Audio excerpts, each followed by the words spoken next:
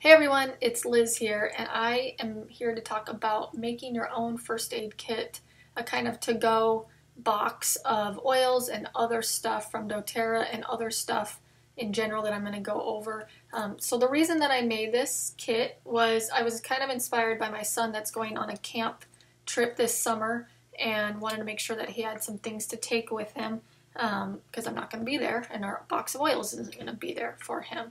But I just think this is great to carry in your car or if you're going hiking um, to a pool with your kids for the day, whatever it is. Um, it's just good to have something that you can have, you know, on hand to use. So I just wanted to go through what the contacts, um, or sorry, what the products and stuff is that I have in here. So what I've put in here, I'm going to just take them out one by one and show you. Peppermint oil. These are in what I call a one dram bottle you can get from Aroma Tools. We will put all of the resources in the comments um, of this post, so uh, just so you know. So this is peppermint oil. I think that's a must to go with your kit because it's good for headaches, stomach issues, um, anything to help with those things if you've eaten something not good or you've been in the sun too long, just a cooling effect. Lavender um, also is a great one for sunburns, um, burns in general, just calming down, relaxing, helping sleep, that type of thing. Um, Melaleuca, in case you get bit by a bug, is a great one. Um, it's also good for skin irritations, uh, sore throats, anything like this. Melaleuca is just one I love to keep on hand. Um, DigestZen I've put in there. DigestZen is great for stomach and irritations, anything to do with the digestive system, car sickness, anything like that. It's great to have this one on hand. Um, I've put wild orange in there because it's one of my very favorite oils, but because it also is great for just mood management, uplifting. Let's say that you're, um, you know, hiking and your kids are starting to get grumpy, or you are, or you're kind of at your wits' end, rubbing a little wild orange on their wrists or the back of their neck would really help brighten up the mood of the hike. Um, breathe is great for respiratory issues of any sort, but you know, it seems like with the change of weather comes some coughs and colds and that type of thing, and breathe is a great one to have on hand for that reason. Uh, just rubbing it on the chest or having them cup it and breathe it over their nose or you. Um, I've put peppermint, or I'm sorry, On Guard beadlets in there because On Guard beadlets, you can pop them um, and use them as a sanitizer on your hands if you need to, but just putting them in your mouth if you're feeling like you're traveling a ton and you need a little bit of a boost um, keeps you healthy, keeps you protected in um, crowds and that sort of thing. So that's a great one to keep on hand. Um, I put a bottle of TerraShield. Now, I didn't have any more, so I ordered these tops from aromatools.com and they fit on one of your 15 ml bottles of oil. And this one is On Guard, and I, it was actually an empty bottle of On Guard that I just had, and I just filled the rest of it with water. But I can use it as a hand sanitizer um, or a disinfectant um, on the road, on the go, right? So my idea was to do the same thing with TerraShield. I just need to order more of these, which I did yesterday. And so I'll put the lid on this one, the spray lid on this one, because you can use this as a bug repellent. So this was a TerraShield that had about 15 drops left in it, I would say, and I just filled the rest with water.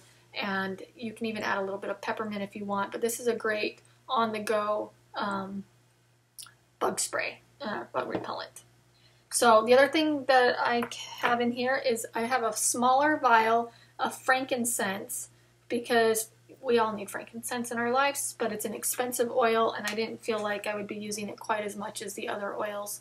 And then helichrysum, or helichrysum, however you pronounce it, I have that in a smaller vial also because this is a really expensive oil, but um, it is a for sure first aid kit item because it stops bleeding automatically, um, really helps with that. So if your kids get scraped or you do, um, it helps with that. It helps with swelling, those type of things. So like an injury um, first aid item for sure, helichrysum. I put a dropper, again, I got this on Aroma Tools, but this is fractionated coconut oil. and I put it with a dropper lid. You can see it in there, I hope. Um, and so you can dilute your oils that you have. So if you, you know, you get a small child or you just want to get it in a larger area, coconut oil is a fantastic oil to keep with you. So I can't say enough good things about Correct-X. Correct-X is amazing.